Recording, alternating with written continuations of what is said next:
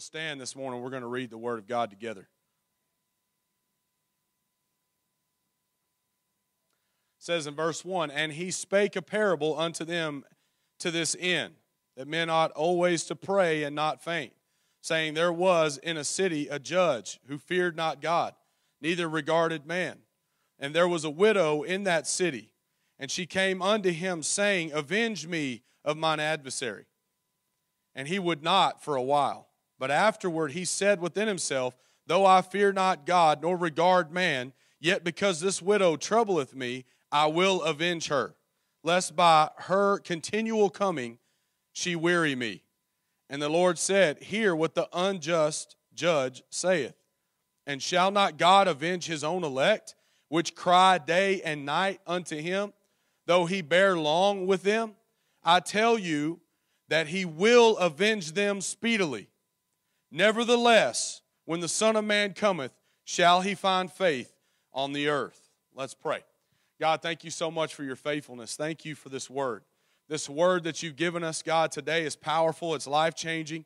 And I just thank you so much for your goodness to us. I just pray, Holy Spirit, that you would speak, that you would speak to us today, Holy Spirit, that you would be the one that does all the speaking and not me. And I just thank you so much. Just anoint this time, anoint every heart and every life that we might hear your word in Jesus' name. Amen. As you're seated, tell the person next to you you're going to help the preacher preach. All right? Now you hold your partner accountable, okay? All right? Hold them accountable. Make sure they're not lying in the presence of God. Amen? We don't want that. What does that mean? That means amen me every once in a while to let me know you're awake. I appreciate that very much. But uh, we read about this. Jesus is talking, and I want to talk to you today. Will he find faith? That's the thought today. Will he find faith in your life? How many knows that you've had prayers or things in your life that haven't gone the way that you thought they were going to go? You look at your life and you say, you know what? You know, I, whether it be uh, when you were living for God or you weren't living for God, you know, the, the Bible says it rains on the just and the unjust. That means things happen to good people, things happen to bad people. That's the way life is. Why is that? Because it was sin in the Garden of Eden. You know, a lot of times, a lot of people say, man, if, if God is so good, why do, why do bad things happen to good people? Well, because of Adam and Eve, okay? God created this world sinless and perfect. But because of sin and the choices that we make, we allowed sin to come into this world, and that's what causes all the conflict, all the pain, all of that. But see, as a Christian, we have to understand that I'm a child of God and that I know that He is in control of my life because I've surrendered my life to Him. And so that I know that when I pray that he hears me. I know that everything that's happening in my life, there is a purpose for why it's happening the way that it's happening. A lot of times we don't think, well, this can't be God because it hurts too much. The pain's too much. The things that I'm going through right now, God, I just don't understand how you could be in it. I feel like you've abandoned me. I feel like that you've left me. I feel like that you're not with me. But he says here to keep and continue to pray. He's saying, pray and keep praying. The widow goes to the judge and she keeps going to the judge and she keeps going to the judge keeps going and keeps going and keeps going. And the judge says, This lady's wearing me out. So I'm just going to give her what she wants so she'll leave me alone. You know what I mean? And he says, eh, He goes, If the unjust judge will do that for this woman, how much more will your heavenly Father do for you?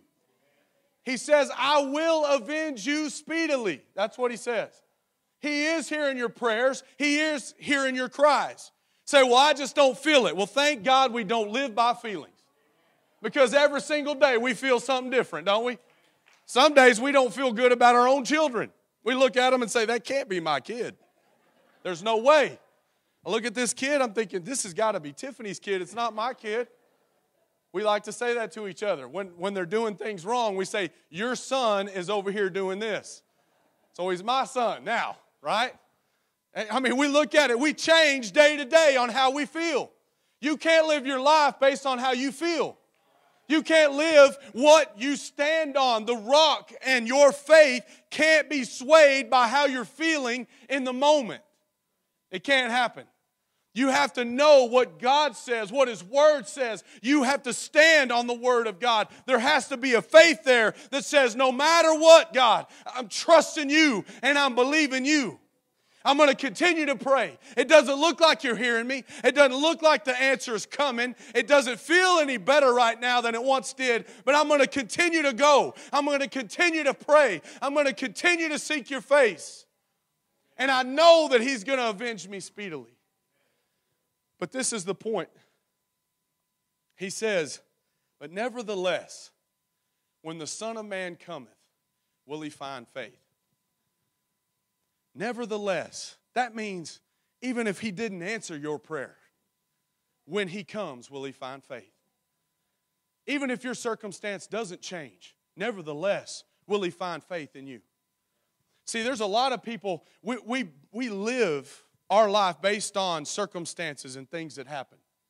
There's a lot of people that should be in church and serving God today, and they're not serving God today because of things that have happened to them. Maybe somebody did them wrong or said something about them, hurt their feelings. And so they said, Well, I, you know, this is just how I feel. I got my feelings hurt. So I'm just abandoning everything God's done for me and I'm going to just leave. All right?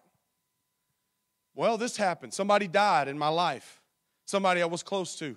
So I just don't see how there could be a good God. Eh, I'm just going to walk away. Why? Because of circumstances. It's not what I wanted. I prayed that they would be healed and they died. I'm walking away from it. We look at all the things. Now, I'm not saying these things aren't real and they don't hurt, and they are life changing. Trust me, I know. But what I'm telling you today is it's nevertheless, when He comes, will He find faith? Do you believe that Jesus died for you? Do you believe He got on the cross, not just for us, but for you? Do you believe that you're forgiven of your sins today? When you repented of your sins, do you believe it? Do you believe that the thoughts that he has towards you, like Jeremiah says, he, I mean, that they're good, that they're of hope for you? You have to know it, you have to believe it. So it doesn't matter what anybody else does, it doesn't matter what any circumstance happens in my life. I will not be swayed by my faith in Jesus Christ. Will he find faith in you? People hurt us. Things happen in our life we have no control of. In our health, in our bodies, in our families. People leave us, people hurt us, things happen.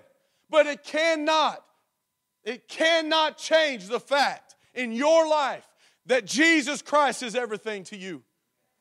He has to be your rock. He has to be everything in your life. You have to know that He loves you more than anybody else. Well, it doesn't feel like it because it hurts right now. And I feel abandoned. And I feel like people are turning their back on me. And I feel broken down. And I feel so depressed that I want to take my own life. You have to understand something. The devil's attacking you, he's trying to kill, steal, and destroy your life. But Jesus will use the circumstance of your life to establish a faith that's unshakable in you. He will do a work inside of you, and you have to know that He loves you more than anybody else loves you. He gave, God gave everything for you. His Son, His Son. We so flippantly say, He gave His Son for me. You think about that if it was your Son, putting Him on that cross for people that were spitting in His face who choose not to live for Him. He gave everything for you so that you could know Him are there times that we walk through valleys? Of course. You don't grow unless you walk through a valley. If you just live on a mountaintop, you'll never know more of who Jesus is. You know, the Bible says, and I said it recently, His grace is sufficient for you. That's what the Bible says. Do you believe that? Raise your hand if you believe His grace is sufficient for you. How will you ever know if His grace is sufficient for you unless you go through a time in your life where you need Him to show you His grace is sufficient for you? If we never walked anywhere where we did need His grace, how would we ever know that His grace is sufficient? I would just be taking His word for it. I'd be taking Dad's word for it. Well, my dad told me His grace is sufficient for me, so that's good enough for me. Until I'm in my valley on my face, broken into pieces, and then I don't know whether Dad was lying or not. Right? You know what I'm talking about. We're raised Christian, most of us raised in a Christian home or a Christian nation, used to be anyway. And we live in this life and we hear about Jesus and all this, but when things go crazy in our life and we fall on our face and our world is shattered into pieces, we begin to question everything everybody ever taught us. We have to know it for ourselves. You have to know it for yourself. We have to all come to a place where we're the widow woman. Okay? We have to come to that place where we go after Christ and say, Answer my prayer, answer my prayer, answer my prayer. Why? Because there was a brokenness inside that said, I can't go on without you, Jesus. I can't go on without you hearing me. I can't go on. And you'll never get to that place unless you walk through some kind of hell in your life where you have to reach out and say, I can't do this on my own. That's why drug use is so rampant in our society. I understand it. I understand it, and I have compassion that use, on people that use drugs. Because without Christ, Without that supernatural peace and joy, how else do you escape from the hell that we live in on a daily basis?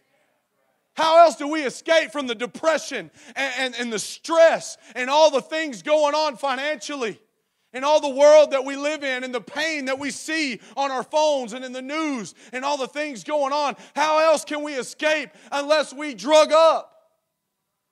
I understand and I have compassion on it. But I'm telling you right now, we don't have to have it. We can have Christ. Christ in us supernaturally can bring that healing.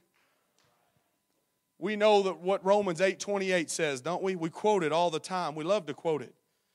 And we know that all things work together for good to them that love God, to them who are the called according to his purpose. Man, I've quoted that so many times. And then I've questioned it so many times. Have you? Come on now. Not everybody's holy in here. Don't act like you're all holy. I've questioned that probably as much as I've quoted it and stood on it. Because I've been in situations in my life and I said, How in the world could this be good? And I've come to the understanding that he's talking about my eternal good. He's talking about your eternal good. He's not talking about how you feel good right now. See, we base a lot of things, we want to feel good. We want to be comfortable. We want to feel like, hey, man, this is my best life now, baby. I want to live my best life now. I want it to feel good always. I want to be comfortable. I want it to be this way.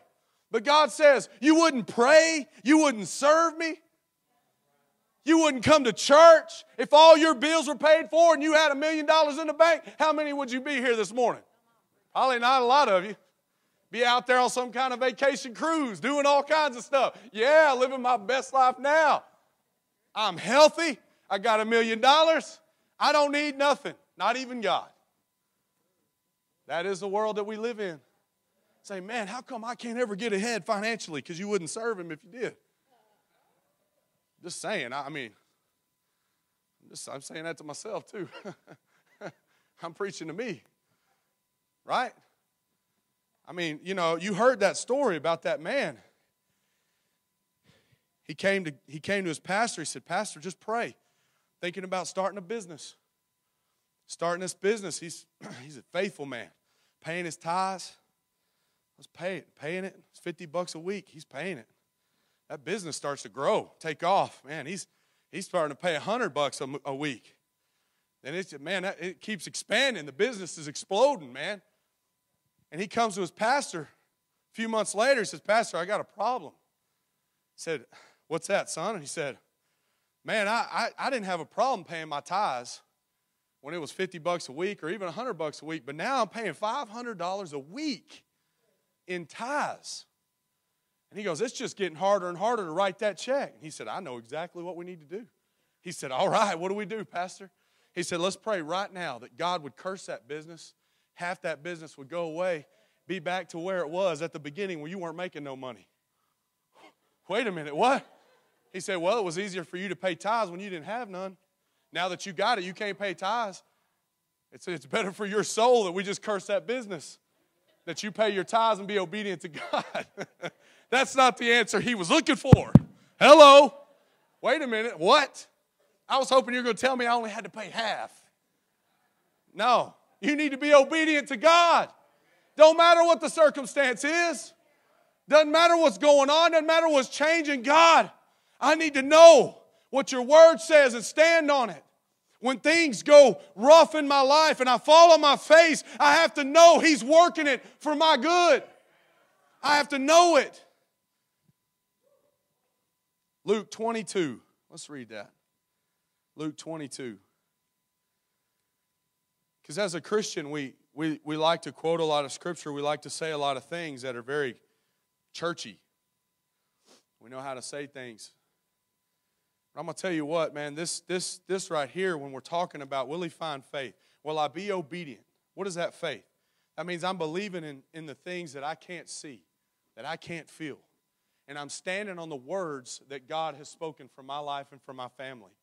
And as a man and as a father, we have to come to a place in our life that no matter what the circumstance is, no matter what's happening with my spouse, with my kids, with my job, that I am determined that I am going to serve God that he will find faith in my life no matter whether that I get the answer that I want, that I feel the way that I want. There has to be a determination inside of me as a man in our society today that I will not bow down to the way that this world views a man. I will not bow down and, and be some kind of a weak, sissy man. I'm going to stand up and I'm going to be what God called me to be. And no matter what my wife does, what my kids do, what my job does, how my finances are, how I feel inside about myself, I will serve God.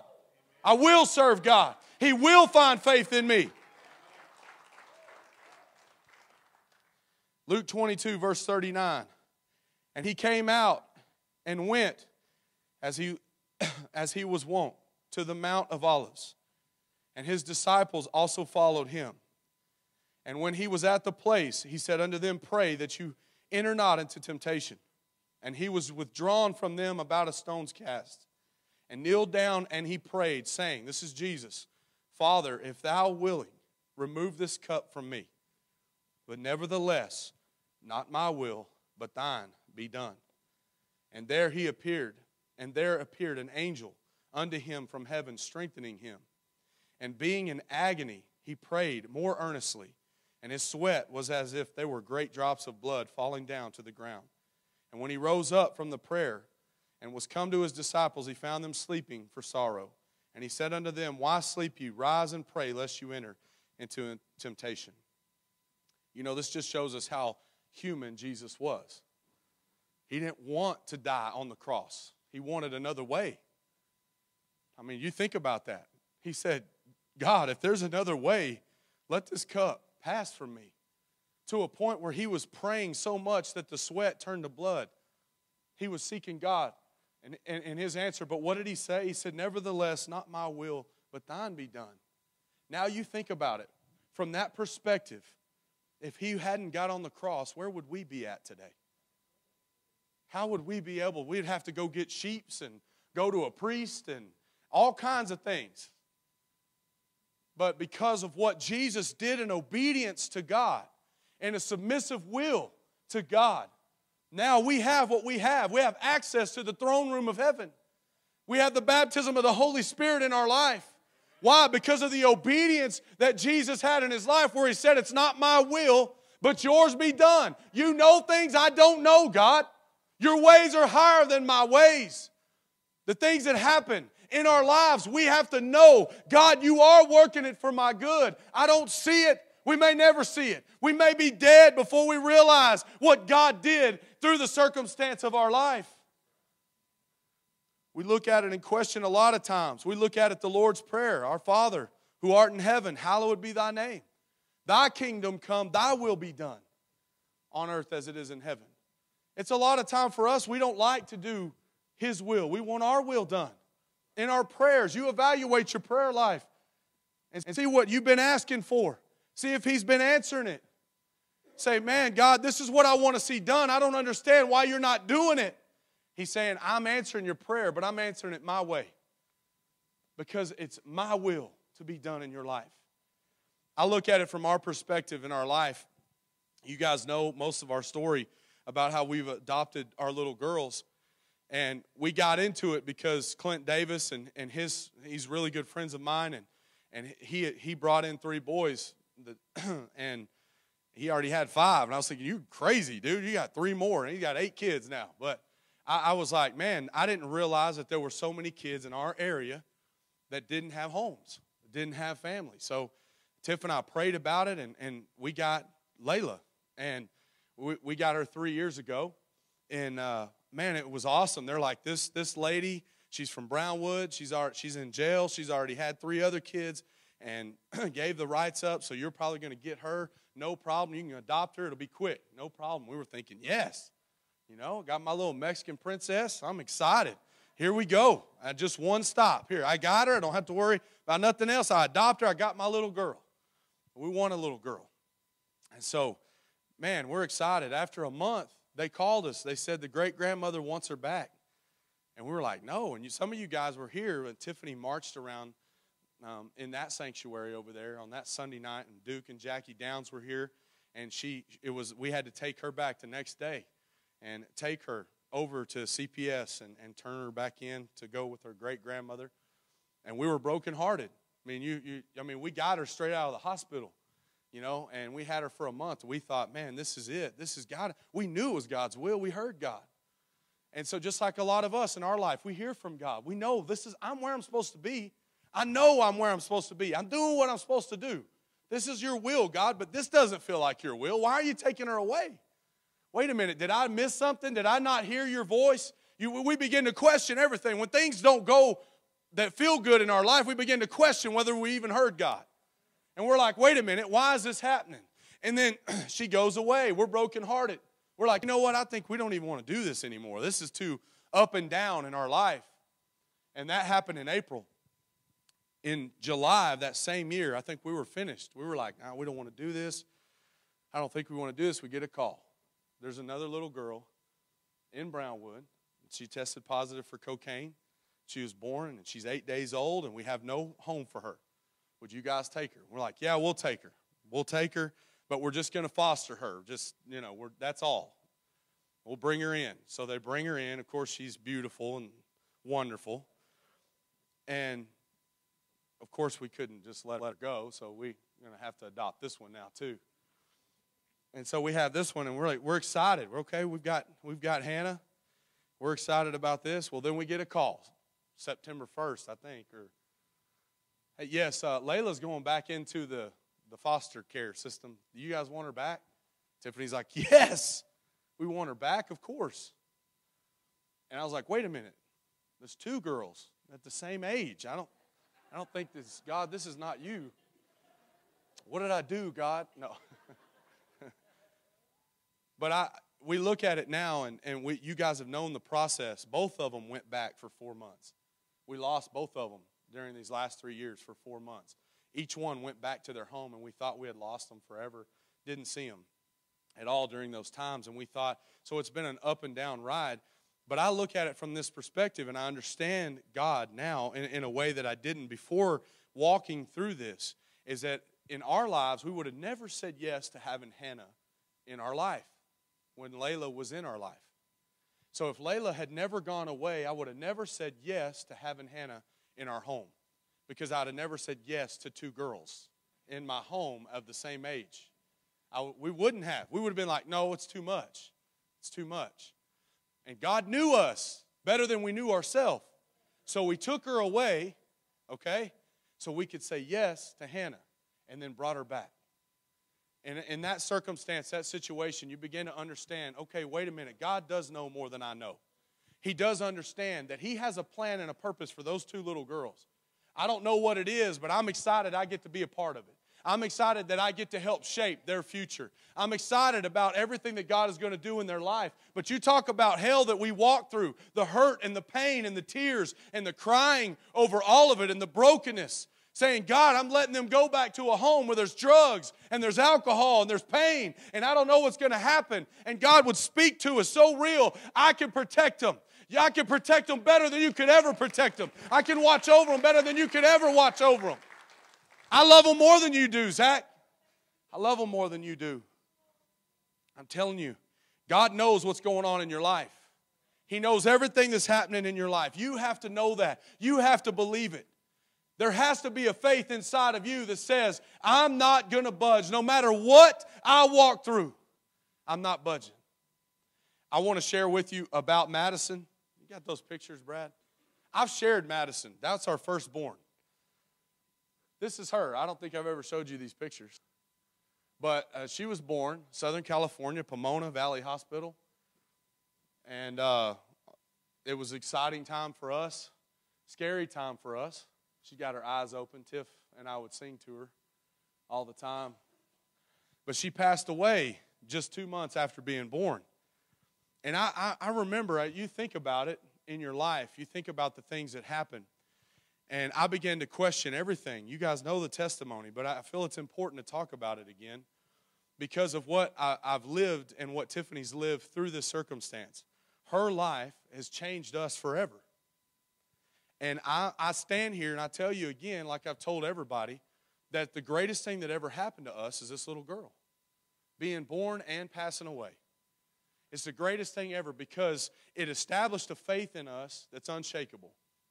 Now, I'm not saying that I can't be broken. I'm not saying that I can't, I'm not above anything. I'm not saying that at all. But with confidence to tell you today, there's nothing in my life that I'm going to face. I know it may hurt, and I'm not asking God to bring more. Trust me, I'm not. It's not an arrogant statement, but I'm telling you right now that I know my God in a way I did not know Him before I walked through this. And I didn't understand it, and I didn't feel that He loved us, and I didn't feel that He cared about us because of the pain that I was walking through. I questioned everything that anybody ever taught me, including my mom and dad, my entire life. But I'm glad that I questioned it because he answered every question and every doubt that I had.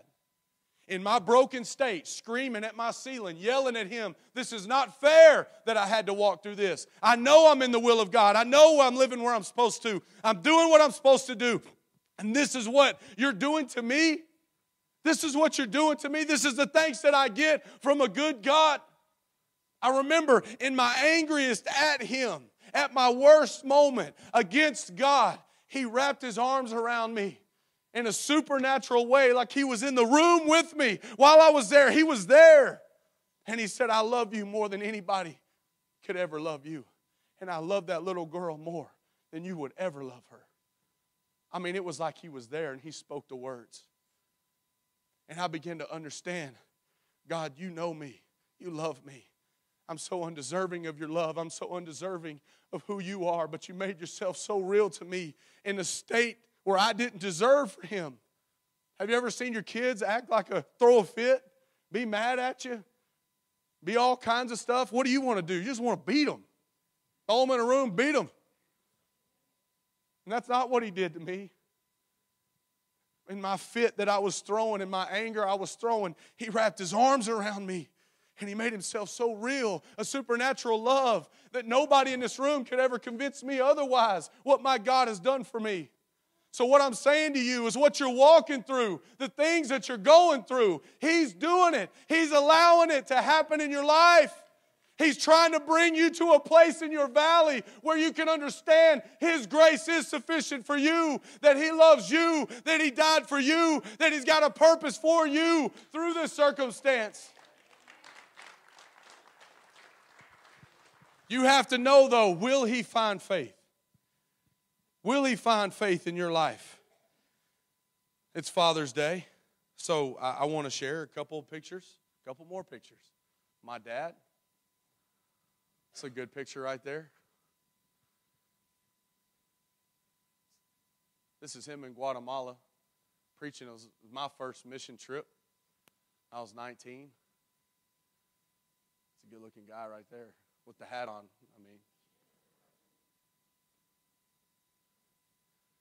that's my dad. My mom. That's my mom, too. That's a young man right there. That man right there did not know everything he was going to have to walk through.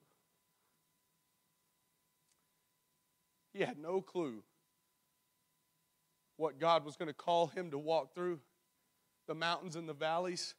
He's just a young man in the military, ready to start life. But I tell you what, this man's walked through hell, been through a lot of things in his life. He's walked through hell with you in your hell. He's lost a grandchild. Just a lot of things have happened to his grandkids and his kids. He's had to see his kids walk through things that he had no control over. His grandkids in this church. Has there been times he's wanted to quit? Yeah. Has there been times we wanted to throw the towel in? Yeah. Is there times we want to walk away and say, God, are you even here? Are you even with me? Yeah. But he's standing here today, a man of God. A man of God who established in his in himself, no matter what my wife does, no matter what my kids do, no matter what my job is, no matter how I feel. God, you will find faith in this man. I see the pain and I see the hurt all around, but I also see the joy. I've seen the victory. I've seen the power. I've seen the resurrection. I've seen people healed. I've seen people delivered. People in here sitting right now delivered of drugs, delivered of alcohol, been raised up from a life of death, saved, delivered, transformed. Now they're fathers of kids being men of God in their homes. Why? Because of the way that we walked. It didn't feel good at the moment, it hurt at the moment. We're oblivious when we're young sometimes that we don't know what we're expecting. Let's give another picture. Here's another man of God. Man, he just looks like a little kid. That's Brad. Lindsay was a little kid.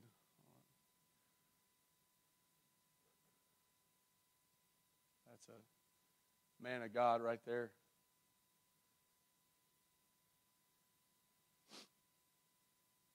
Best dad ever. Right there. That man didn't know when he was holding Lindsay right there in that first picture. He didn't know what he was going to have to walk through. Thank you for walking through it. Thank you for walking through it. It's men that are willing to say, God, no matter what I'm walking through, you will find faith in this man. I'm not going to bow down to this world. I'm not going to run away. I'm not going to throw the towel in. I'm not going to quit. So many lives depend on what I do. My kids' lives depend on it. And if I die doing it, I'm going to die in my last breath. I'm going to say, My God is faithful. Job said, Job 13, 15, though he slay me, yet will I trust him. Though he slay me, yet will I trust him. I love these men. They've impacted my life in such a way because I've seen them walk through the valleys. And I've seen them on the mountaintops. And I've seen them back in the valleys. And I've seen them in the mountaintops.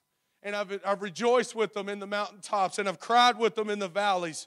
And I've been there when they said, I don't know what to do. I don't know where to go. But I've also seen them say, it doesn't matter what happens. It doesn't matter what I feel. I'm going on with God. He will find faith in me. There will be faith found in my life. It doesn't matter what I feel. It doesn't matter the pain I've walked through.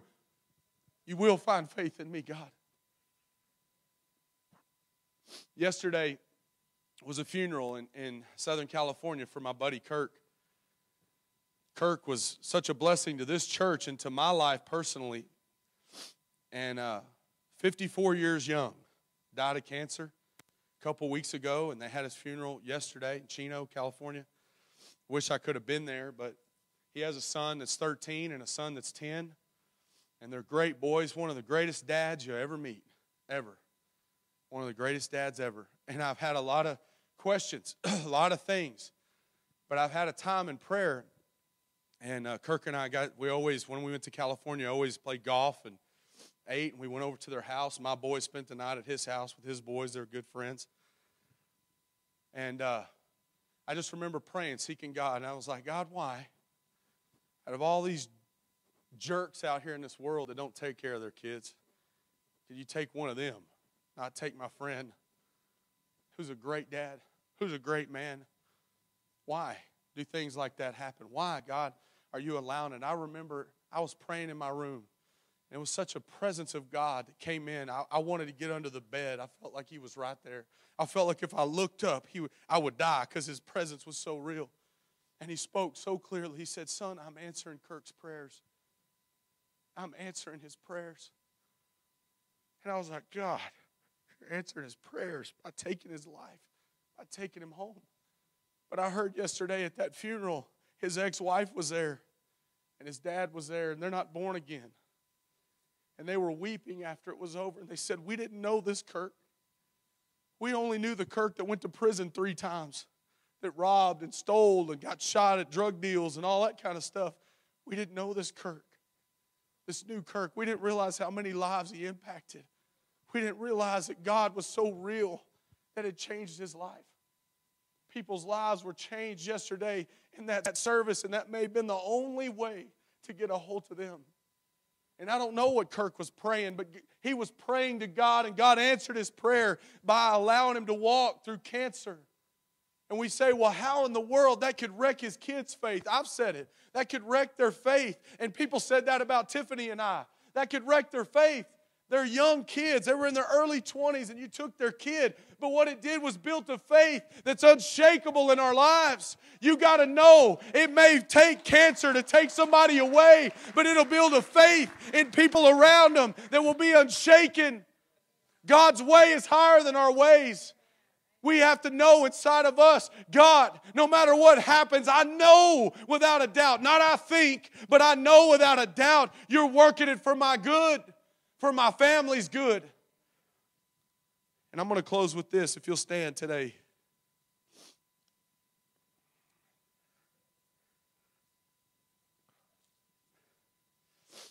I want to read this to you out of the New Living Testament in Hebrews chapter 10 says, Think back on those early days when you first learned about Christ.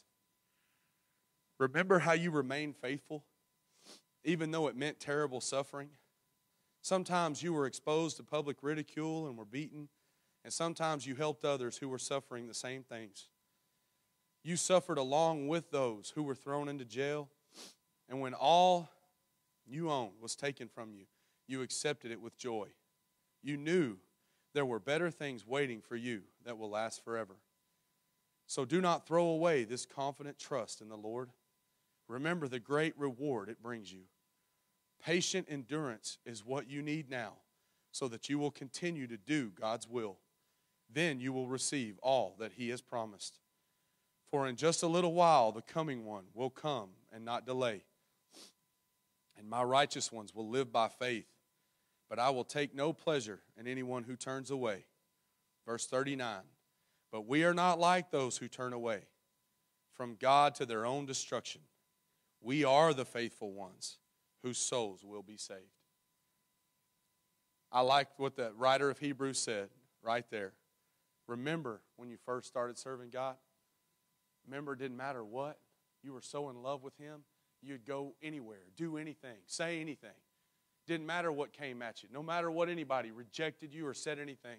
And now we come to a place in our lives where we're so sensitive, so it's about me, that we're willing to throw in the towel and walk away from God and the church and everything else, all because things aren't going my way.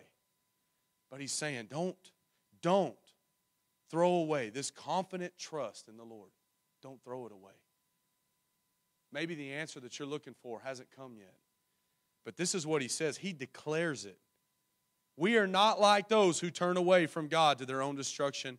We are the faithful ones whose souls will be saved. Men, women, across this place, you have to establish I am the faithful one. People may hurt my feelings, things may not go the way that I want them to. My job may fall apart, my health may fall apart, I may lose a loved one. I may lose a child. I may lose a parent, a brother, a sister. Things might happen in my life. People accuse me of things that are untrue. All these types of things, whatever it is in your life, things may happen. But if you're a child of God, you need to understand something today. You have to hold on to the trust and the faith that is in Jesus Christ. How you feel in the circumstance doesn't change who He is. And what God is doing is using that for you to rely on Him in a way that you haven't before. We're the kind of people that we say, God, I'll do whatever you want. But He has to allow things to happen in our life to push us to do those things because we won't willingly do it. But what's amazing about it is He's so compassionate, He's so loving, He's so kind, He's so gentle, and He cares about us. But you have to understand there has to be a determination in you and a declaration that says, I will be a faithful one. You will find faith when you come back, God, in me. Whether you answer this prayer of mine, whether anything changes in my circumstance, you will find faith in me, God. You will find faith in me. Today, I don't know what you're walking through. God wouldn't give me this message if you weren't walking through something. But I just want to say thank you for those of you that have walked. A lot of you men in this place today on Father's Day, you've walked through some hell. You've walked through some pain. And you're still standing here this morning. And you brought your families with you. And there were times in your life you didn't want to. And there were times in your life you wanted to throw the towel in. And you felt like maybe God had abandoned you. Maybe you didn't deserve it or whatever it is you felt about your own self and your own failures. But you're standing here today. And I want to say thank you. I want to look at you. And I want to say thank you. Thank you. Thank you for what you've walked through. Thank you for the pain that you've endured. It will be worth it all when we see Him face to face. I'm going to hold my little girl. I don't know if she's a little girl now or what. I know it's been almost 13 years. But I'm going to be with her for eternity. And that I'm grateful for. But there's so many more lives that need to be changed. And the vessels being Zac and Tiff. And God knew that. He knows it about you today, too. He hasn't turned his back on you. He's not mad at you. He hasn't left you. He's your strength. He's your rock. He's using what you're walking through to be your foundation that can never be shaken, that can never be broken. If you need prayer for anything this morning, I want you to come, stand at the front kneel at this altar, whatever you want to do. We want to pray for you this morning. If you're going through anything and you just